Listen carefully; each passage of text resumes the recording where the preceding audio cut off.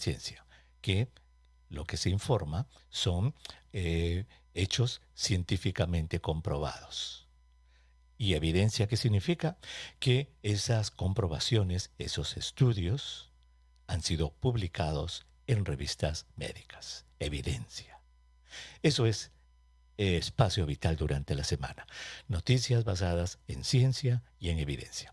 Y tenemos 20 temas durante la semana para usted. 20 diferentes temas y hoy día vamos a hacer el resumen de ellos. 20 temas.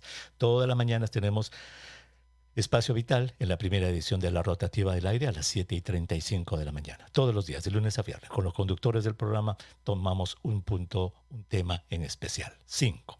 Luego, en Espacio Vital, en las tardes, nuestro programa, ah, de 5 a 6 de la tarde, tenemos cinco entrevistas de fondo. Ya van 10. Luego, en el mismo programa tenemos cinco números de la salud, números que escogemos para ustedes que tienen algún tipo de significado en el mundo de la salud. Ya van 15. Y en el mismo segmento tenemos el órgano, los órganos del cuerpo humano, en los que escogemos alguna parte del cuerpo humano y con ayuda de algún especialista desarrollamos y aprendemos tres cosas acerca de esa parte del cuerpo humano. ¿Dónde quedan? ¿Para qué sirven? ¿Y qué pasa cuando se enferman? Ya son 20. Entonces, son 20 temas de salud basados en ciencia y evidencia que si usted está atento a esto, nuestros programas de salud, pues ya se enteró de lunes a viernes. Y si por A o B usted no pudo estar con nosotros durante la semana, pues para eso es el sábado. Hacemos el resumen completo. Muy bien, empezamos entonces. ¿Qué vimos esta semana en la primera edición de la rotativa del aire?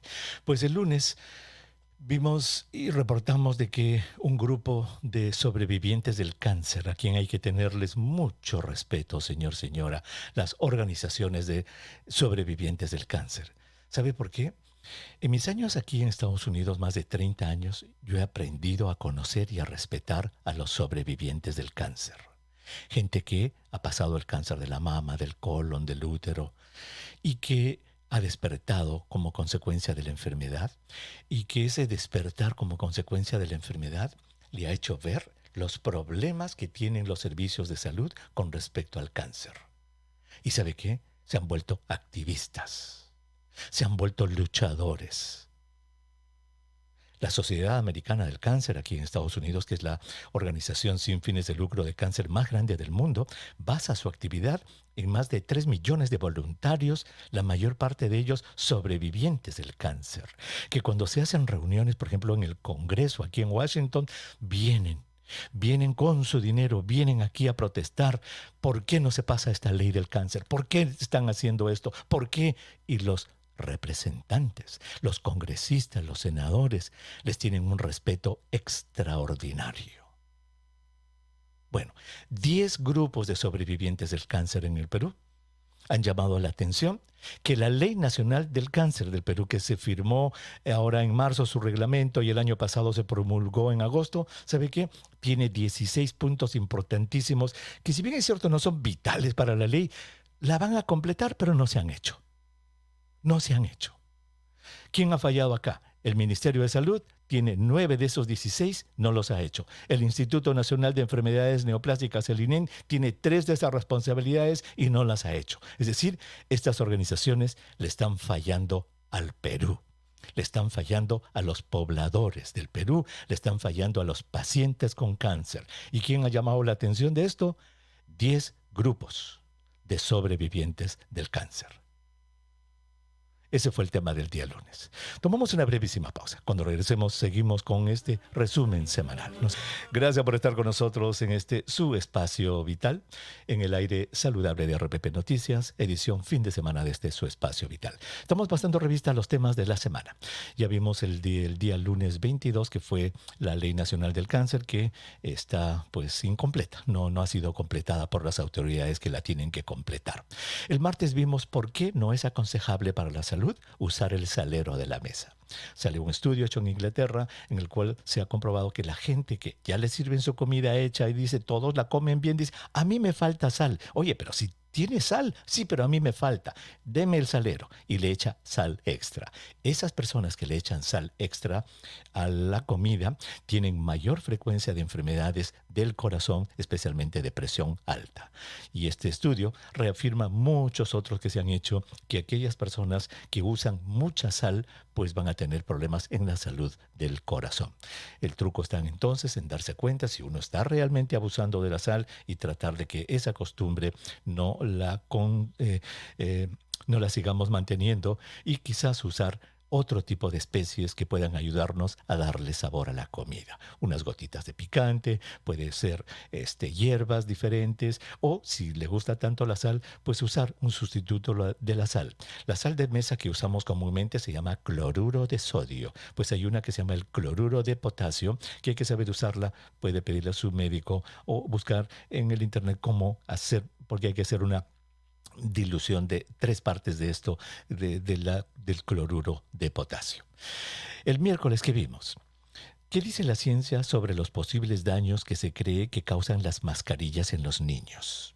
Esta semana hemos tenido debate en el Perú acerca de la decisión del Ministerio de Salud, del Consejo de Ministros, y se decidió al final de que eh, los niños van a usar la mascarilla de manera optativa.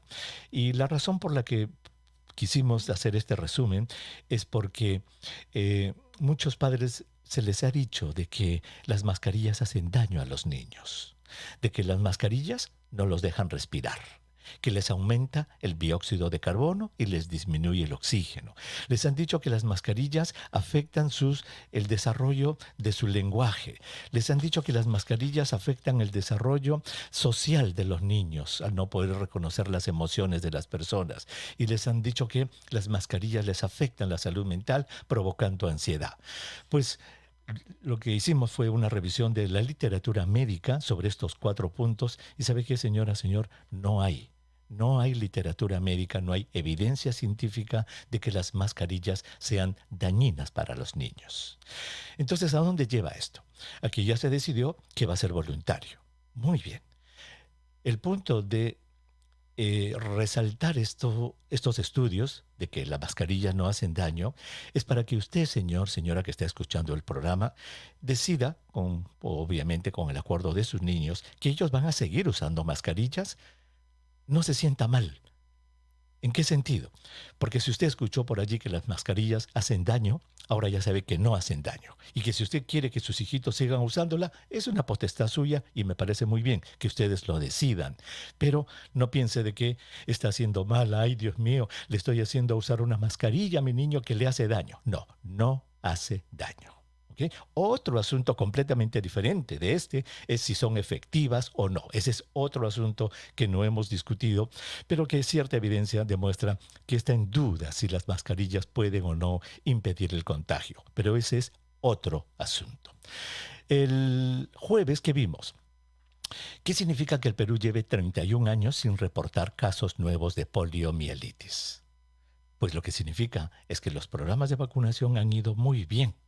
Pero ya hemos hablado también en estos programas de espacio vital con autoridades del Ministerio de Salud que nos dijeron que antes de la pandemia ya estaban habiendo problemas con el programa de vacunación, ya estaba bajando la cobertura. Durante la pandemia todo esto se trastocó. No solamente en el Perú, sino en muchos lugares del mundo ya no hubo cómo vacunar a los niños.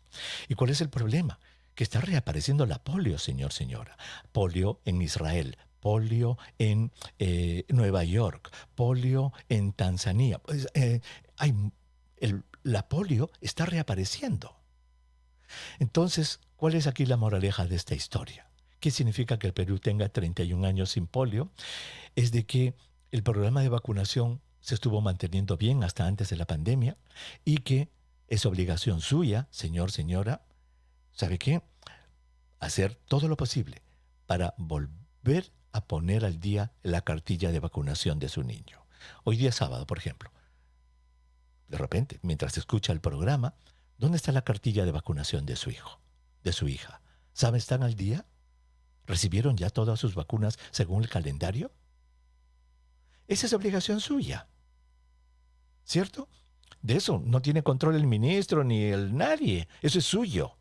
Entonces, por favor, busque la cartilla, si no la tiene, va, hable con el doctor, pero haga algo para vacunar a sus niños. Sería una terrible pena, una vergüenza enorme que el próximo caso de polio, así como ha aparecido en Nueva York, aparezca en el Perú. El viernes, ayer vimos si es posible o no mejorar la memoria de los adultos mayores haciendo ¿Sabe qué? Pasándole corriente. Pasándole corriente eléctrica al cerebro. Este es un experimento de lo más interesante que se ha hecho aquí en Estados Unidos por investigadores de la Universidad de Boston. ¿Sabe lo que han hecho? Han juntado 60 personas, todas ellas adultos mayores, hombres y mujeres. A 20 les dieron un cierto tipo de electricidad en la parte de adelante del cerebro, que es el lóbulo frontal. A otros 20 les dieron electricidad, ¿ah? les dieron así con electrodos, corriente. a otros en la parte parietal, en la parte alta, lateral, y a otros placebo. Les pusieron todos los aparatos, pero no les dieron corriente. Fíjese cómo se usa el placebo en ciencia. El placebo en ciencia es importantísimo. Oiga, ¿qué descubrieron? ¿Sabe qué? de que aquellas personas que recibían estímulos eléctricos, oiga, podían desarrollar una mejoría en su memoria. Obviamente les hicieron unas pruebas de memoria, dándoles palabras para que recuerden, etc. Y demostraron de que las personas que recibían electricidad en su cerebro mejoraban su memoria reciente. ¿Será esto el futuro de algún tipo de tratamiento? ¿Será esto el futuro de que en algún momento los adultos mayores vayamos a necesitar unos cascos eléctricos? A ver, no me acuerdo de eso, no me acuerdo. A ver, un ratito, déjame prender mi casco. ah, ya me acordé. ¿Será eso? No se sabe, pero lo que es interesante es que es una prueba de concepto de que la electricidad, el estímulo eléctrico del cerebro podría aumentar la memoria reciente. Escuchamos los titulares de la hora y seguimos con nuestro resumen en el siguiente segmento, 19. Como todos los sábados, estamos haciendo nuestro resumen semanal del contenido de salud que tenemos para ustedes de lunes a viernes. Ya hemos revisado los temas de la mañana. Rápidamente lo vamos a revisar los números de la salud. ¿Cuáles han sido los números de la salud esta semana? El lunes revisamos el número 30. 30, este número es interesantísimo, 30. ¿Por qué? Porque en un estudio que se publica por los CDC aquí en Estados Unidos, se, se publica en la revista que se llama MMWR, este, reportan que fueron, ah, con el permiso obviamente de dos habitantes de una casa en el estado de Utah que habían tenido la viruela del mono y les propusieron hacer una investigación. Queremos saber si el virus ha quedado en el medio ambiente. Con el permiso de ustedes, díganos qué es lo que más tocan, etcétera. Entonces los muchachos que vivían ahí dijeron, nosotros tocamos el control remoto todo el tiempo. Esta, mm, este manija de la puerta, qué sé yo, y sacaron muestras, 30 muestras en total para saber si el virus estaba allí o no, ¿verdad? Oiga, de las 30 muestras, ese es el número de la salud, mire, 75% casi salieron positivas, o sea, lograron descubrir el virus. Pero acá viene la buena noticia. Cuando cultivaron esos virus, todos estaban inactivos, muertos. Entonces los autores concluyen que si bien es cierto, el virus de la viruela del mono puede quedar en las superficies, en el medio ambiente, es muy poco probable que se contagie por esa vía, porque a pesar que se le encontraron, estaban inactivados, entre comillas, muertos. Mire, número 30. El martes vimos el número 3. Es el número que razones que dio el jefe de otorrino laringología de un hospital aquí en Estados Unidos, el Johns Hopkins, por los cuales la este, sordera está relacionada, ¿sabe qué? A la demencia. La sordera está relacionada a la demencia. Mire, personas que no escuchan bien, que están en una reunión, están perdidas, pues no escuchan lo que se habla y se ríen de rato en rato, así eh, por compromiso. Cuando alguien cuenta un chiste, al darse cuenta que todos se ríen, ellos también se ríen, pero no han entendido nada. Entonces, esa sordera que se puede corregir puede causar demencia por tres razones. Uno, la sobrecarga de la función cerebral, cuando la persona trata de escuchar y trata y trata y trata. Eso, según este experto de Johns Hopkins, podría hacer que otras áreas del cerebro pues no funcionen bien y lleve a la demencia. Segundo, la atrofia de las partes que no se usan, porque las partes que no sirven para escuchar se conectan con otras partes del cerebro, ¿cierto? Y entonces al no funcionar, pues se atrofian. Y la tercera tiene que ver con aislamiento social. Estas personas, cuando no escuchan bien, ya no quieren ir a la reunión, ya no quieren salir, o cuando están en una reunión no se integran a ningún grupo porque como no escuchan, se quedan sentaditos a un costadito aislados. Entonces la moraleja de esta de este conocimiento es que si usted tiene alguien en la familia, papá, mamá, abuelo, abuela que no escucha, llévelo para que consigan esos aparatitos, porque el mejorar la audición es un preventivo de la demencia. El miércoles vimos el número 73 es el porcentaje de efectividad de la vacuna de Pfizer para evitar la infección del coronavirus en niños y niñas de 6 meses a 5 años, que se aprobó ya en junio pasado, ¿verdad? 73%. ¿Y en el Perú? ¿Y en el Perú? ¿Y en el Perú ha llegado esta vacuna? No, de acuerdo a las autoridades del MINSA, dice que están en trámites. Desde junio están en trámites para ver si la traen al Perú. El jueves, ¿qué vimos? El 70 número 70. Es el porcentaje de personas infectadas con el virus de la polio que son asintomáticas. Como dijimos en el primer segmento, la polio está regresando, oiga, por aquí, por acá, por las coberturas de vacunación que han bajado mucho. Entonces, la polio de cada 100 casos de polio que le dan a una persona, 70 son asintomáticos, pero están contagiando a todos. Por eso es que es importantísimo poner al día el calendario de vacunación de nuestros niños. El viernes ayer vimos el número 581, es un número grande. Lo que indica este número es el número de niños, 581 niños, que en Canadá fueron hospitalizados por intoxicación por cannabis, o sea, por marihuana. ¿Y esto por qué? Porque en Canadá se ha dado una ley que ya permite que se fabriquen alimentos con marihuana, galletitas con marihuana, caramelos con marihuana, chocolates con marihuana. Entonces los papás se descuidan, dejan estos alimentos allavados, viene el chiquitito, se lo come y se intoxica pues al hospital. 581. La moraleja aquí es que Obviamente se tienen que hacer regulaciones para que eh, quizás se vendan esos productos en contenedores que sean digamos, difíciles de abrir por los niños, ¿no? Las partes del cuerpo humano, ¿cuáles vimos esta semana? El lunes vimos el colágeno. ¿Qué nos dijeron del colágeno? Que está en todo el cuerpo, oiga, debajo de la piel, está alrededor de las arterias, es, es la estructura, es la arquitectura, el soporte de nuestros tejidos y nuestras células, el colágeno. Y el colágeno, ¿sabe qué? Está en los músculos, en los tendones, en los ligamentos. Se pierde con los años, nos dijeron. Y acá viene la noticia.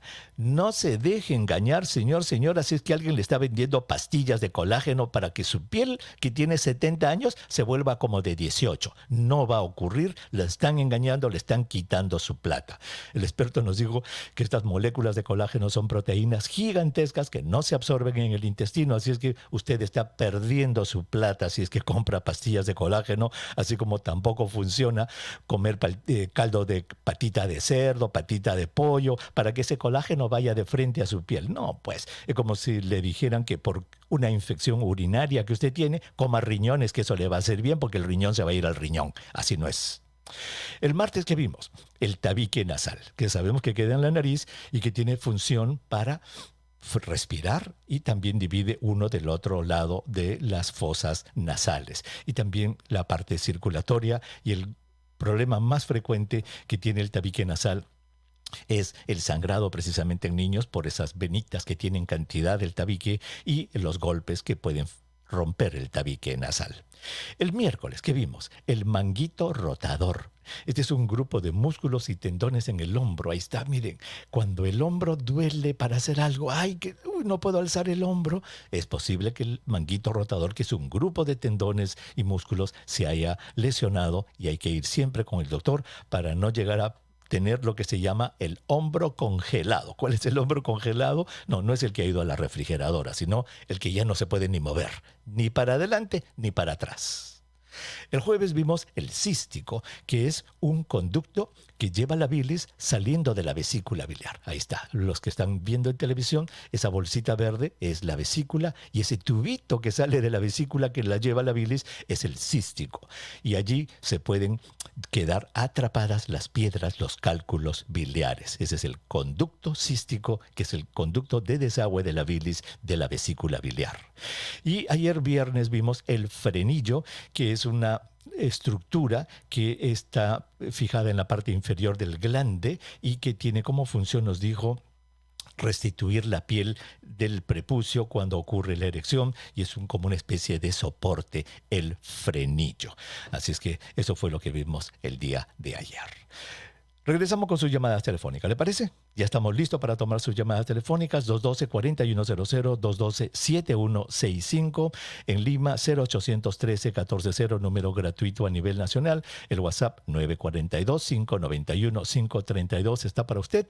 Fíjese todo el contenido de salud que hemos tenido para usted durante la semana. Y eso cuando regresemos le voy a dar los temas de las cinco entrevistas de fondo que faltan. Regresamos. Semana. El lunes vimos qué es la enfermedad de Menier cuáles son sus causas, tratamiento y pronóstico. El martes vimos cómo se evita la anemia, cómo podemos evitar la anemia, qué trucos hay en la alimentación, fíjese, en la alimentación para aumentar la absorción del hierro. El miércoles vimos cómo se pueden eliminar las sustancias pesticidas que están en los alimentos que compramos cuando no podemos comprar alimentos orgánicos. El jueves vimos cuatro consejos para desarrollar una actitud positiva en la vida. Y ayer viernes vimos cómo manejan su intimidad los adultos mayores que llegan a estar juntos 30, 40, 50 años juntos. ¿Ve? 20 temas de salud que hemos tenido para usted durante la semana todos basados en ciencia y evidencia. De tal modo que si usted está con nosotros durante toda la semana, fíjese, 20 temas diferentes de salud. Ahora sí, nos vamos con nuestros oyentes. Ya tenemos a eh, Sergio que está en Tacna. Sergio, muy buenas tardes. Bienvenido al programa en que lo podemos ayudar. Buenas tardes, doctor. Gusto en saludarlo. Eh, mi pregunta es la siguiente, doctor. Quería preguntarle, consultarle ¿Qué tan cierto o verdadero es eh, estas publicaciones que sacan algunas revistas o algunos medios de salud en personas que ya han tenido eh, anteriormente COVID o que ya pasaron el COVID y que han, están vacunadas? ¿Qué tan cierto es que las reinfecciones son cada vez más leves, digamos una segunda o tercera o a veces ya asintomáticas o muy leves. Y, bueno, y si esto ya está dando paso también a un tema de la endemia de la que hablaban de COVID, ¿no? Pues mira, Sergio, muy buena tu pregunta. Esto está estudiado, esto está, aparte de revistas que puedas haber visto así de circulación general, esto está estudiado también en revistas médicas. Y lo que se ha visto es que las infecciones digamos, recurrentes, las recaídas de la infección, no siempre son leves, Sergio, no siempre son leves. ¿Ok? No siempre.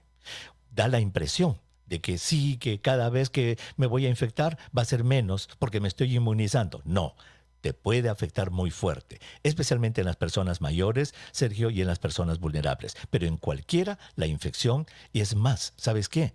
Te puede dejar con lo que se llama el COVID persistente. Por eso es que es importante todavía seguirse cuidando, Sergio, pero no es cierto que debido a que te infectas varias veces, cada vez va a ser menos. Eso no es cierto. Gracias por tu pregunta, Sergio. Es una excelente pregunta. Vamos a San Miguel. Marta está en San Miguel. Marta, bienvenida. Hola, doctor. Buenos días. Mucho gusto hablar con usted. La pregunta puntual. ¿Me escucha? Perfectamente. Adelante, Marta. Ah, ya. Este, mi papá tiene 88 años y es este paciente de hemodiálisis. Mi pregunta eh, puntual es la siguiente: debería poner, eh, va a existir una quinta dosis de COVID porque a él con cuatro dosis de vacuna le ha dado COVID y estuvo en UCI, pero fue leve a, pesar de su edad, ¿no? Entonces, este, yo quiero saber eso, si va a haber una quinta dosis y si él tendría que usar la, la doble mascarilla por siempre, por, por su condición. Eso era todo. Mire, Marta, su pregunta es muy buena y pone en el tablero de discusión cómo debemos cuidar a las personas vulnerables. No sé si usted sigue los programas que hacemos, pero en, las últimas semanas hemos dicho, Marta, que la pandemia a lo que está llegando es que, mire, está haciendo que las personas vulnerables, como su papá, 88 años en diálisis, sean las más afectadas. Entonces, ¿cómo los cuidamos? Porque los muchachos de 20, 25, 30 años se pueden infectar. En ellos, por lo general, como acabamos de decir, es leve, aunque pueden tener problemas, pero en ellos es, por lo general, leve. Entonces, su papá debe ser cuidado como si la pandemia continuara, Marta como si la pandemia estuviera todavía presente como el año pasado, así debería cuidarse su papito. Es decir, la gente que se acerque a su papá debe estar con mascarilla, la gente que, este, digamos, eh, cuando lo llevan al hospital, él obviamente debe usar su mascarilla cuando va al hospital a hacerse su diálisis. ¿Me entendió Martita? La idea es que su papá, por ser vulnerable y por en este momento las vacunas no proteger de la infección, entonces él debe cuidarse como si estuviéramos el año pasado o el anteaño pasado. Ahora su pregunta, ¿habrá una quinta dosis? Bueno, Mire, es cuestión de semántica, como se dice, del lenguaje. Por lo menos en Estados Unidos ya se aprobó que para el mes de octubre va a haber la dosis doble de vacuna, se llama bivalente. ¿Cuándo llegarás al Perú? Estoy seguro que las autoridades del MINSA, con la rapidez que los caracteriza, van a traer la vacuna pronto al Perú.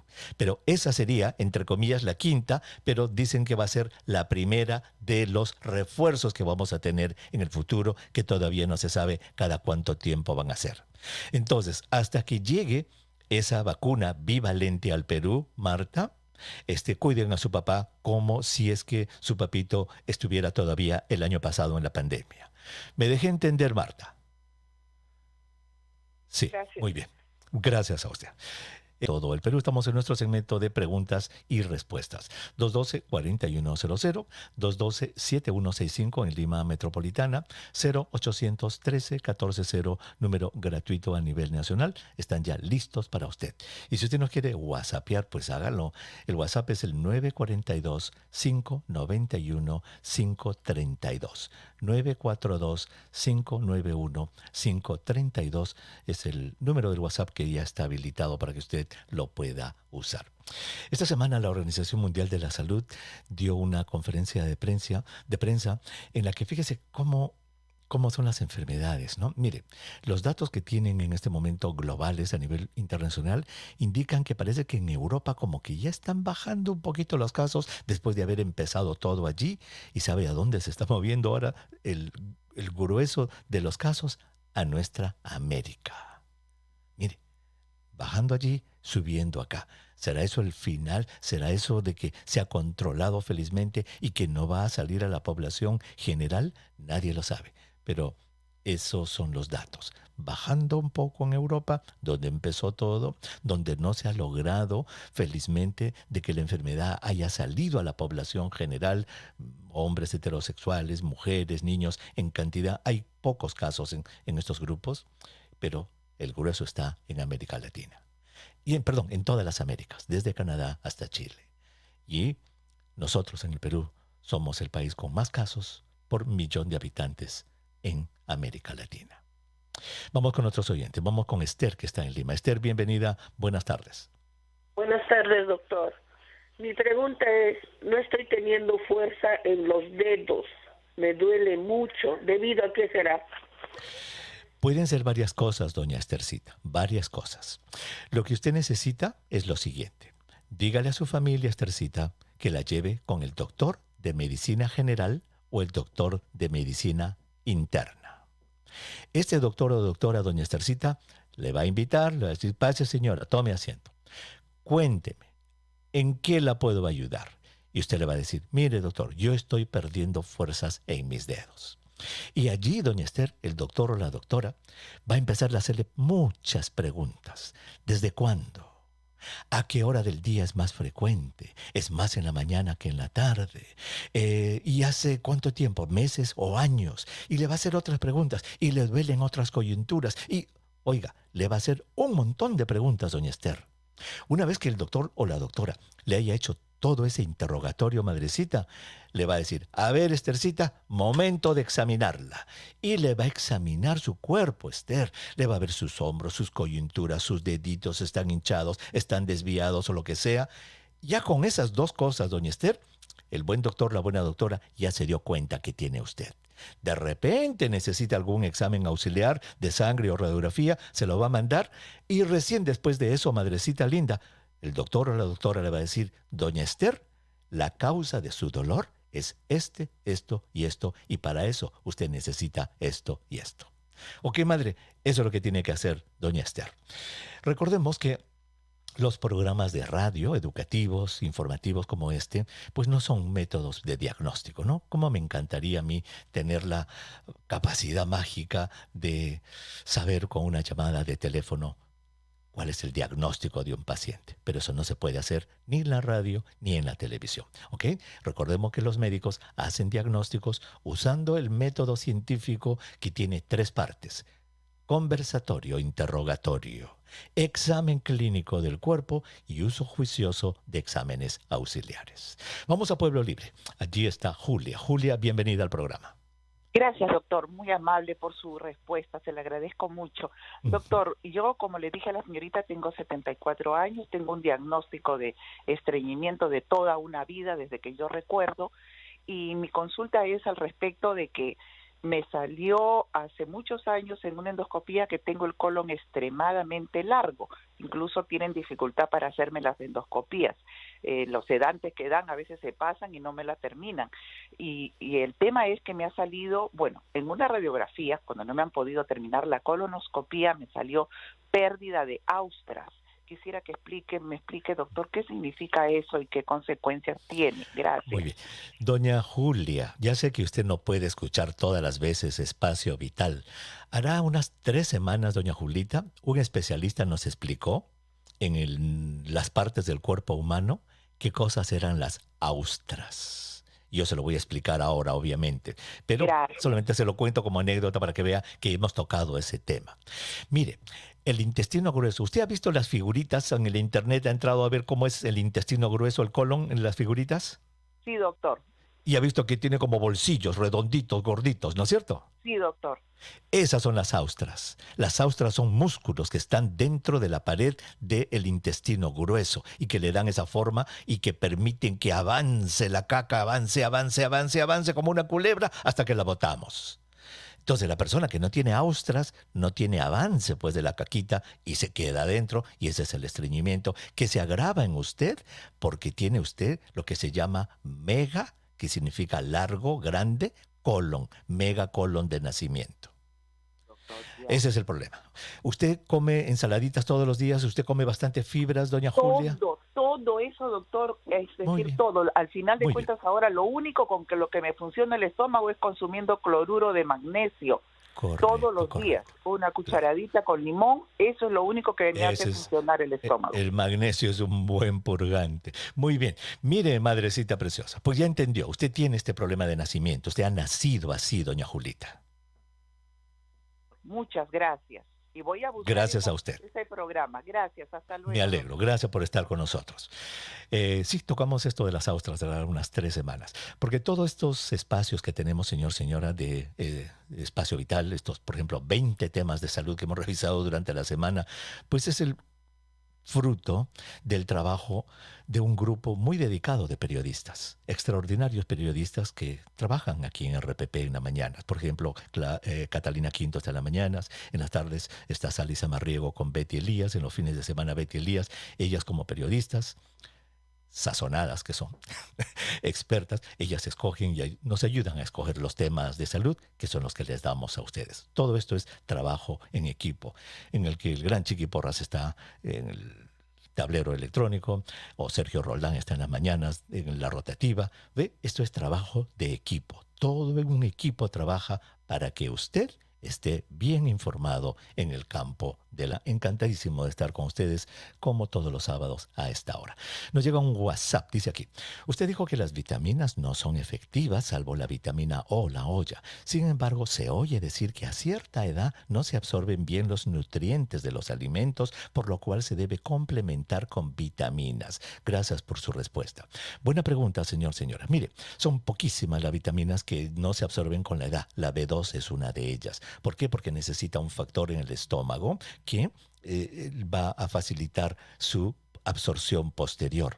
Entonces, lo que se hace, eso lo hace un buen médico en las personas de edad, puede medir los niveles de vitamina B12, puede medir los niveles de vitamina D y si están disminuidos, entonces eso ya no es pues tomar la pastilla por si acaso, sino ya es un tratamiento de una deficiencia. Pero las demás tranquilo. La vitamina O es lo que vale y no hay que dejarse engañar por los que venden vitaminas, suplementos y las sales y el magnesio y todo. Son buenos. ¿Sabe para qué son buenos?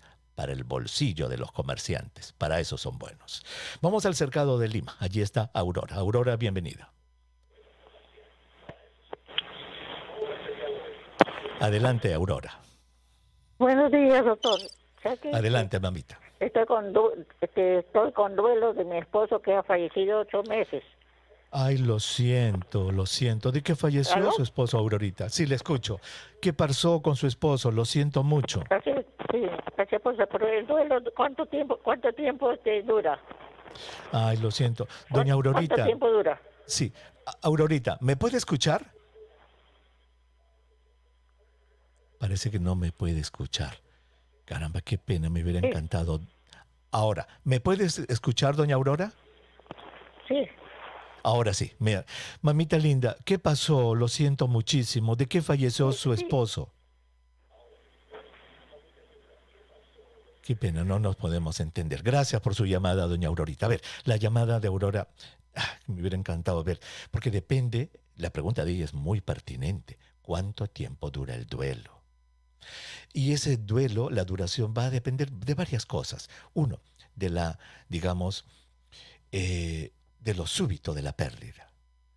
Si por ejemplo el señor estaba enfermo ya desde hace algunos años y ya en los últimos meses empezó a agravar, agravar, o sea que ya la familia esperaba, ella esperaba, la resignación regresa mucho más rápido porque no entiende el sufrimiento del paciente durante tantos meses y dice, Dios se lo llevó, va a estar mejor y la resignación es más rápida. Dura cuánto? Tres, cuatro meses y ya la persona va para adelante.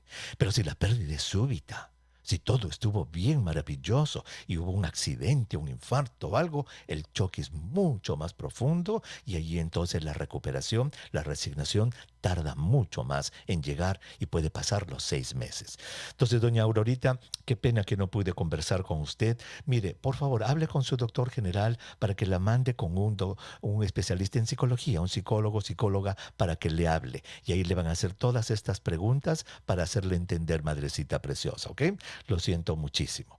Vamos con Luis, que está en Surquillo. Luis, bienvenido al programa. Gracias, doctor Huerta.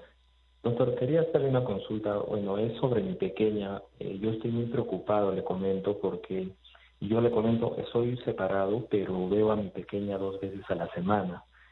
Y mi preocupación, doctor, va por lo siguiente. Eh, justo conversando con mi hijita este fin de semana, ella me comentaba eh, de que cuando ella llega del colegio, cuando la van a recoger al colegio y la llevan a casa, en casa, eh, antes de ingresar a la, casa, la están, eh, mire, ya estamos ya más de dos años de la pandemia, entiendo de que se han actualizado muchos protocolos de desinfección, etcétera, pero ella me cuenta, doctor, y eso es lo que me preocupa, que su mamá, le, llegando a la casa, le echa, le esparce alcohol en el cabello, en la ropa, todo, le quitan la ropa y la suben a bañar a, a, a la casa. Entonces, yo quería saber, doctor, si eso todavía es necesario en una criatura que está en el colegio o en cualquier persona que sale a trabajar y regresa, en que todavía se esté usando el tema de echarse alcohol al cuerpo, etcétera, para desinfectarse, porque yo entiendo de que el virus es netamente respiratorio, ¿no?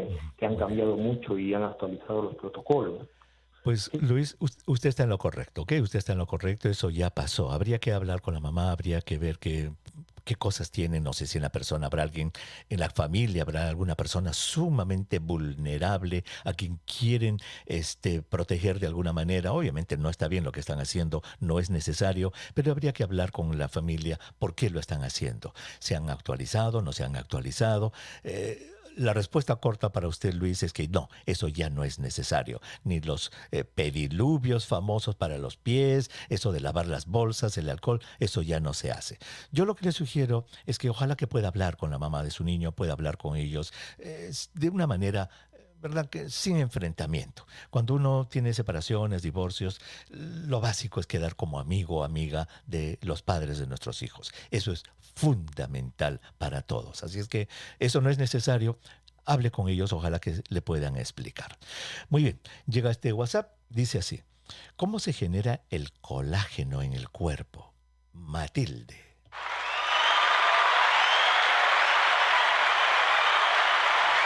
Excelente pregunta de Matilde. Estas son preguntas para un programa de radio y aquí las premiamos con aplausos. Mire, Matilde, esta es una excelente pregunta. ¿Cómo se origina el colágeno dentro del cuerpo?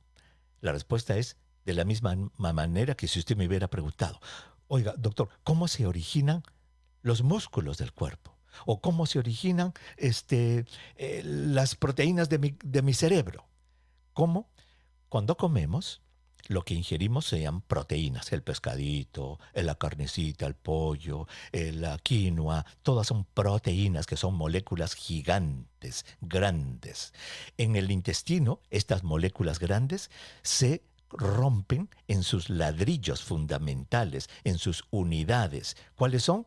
los aminoácidos. Eso es lo que se absorbe en el intestino. Por eso es que las pastillas de colágeno no funcionan, ni la patita del caldo de pollo sirve porque eso se disuelve en el intestino.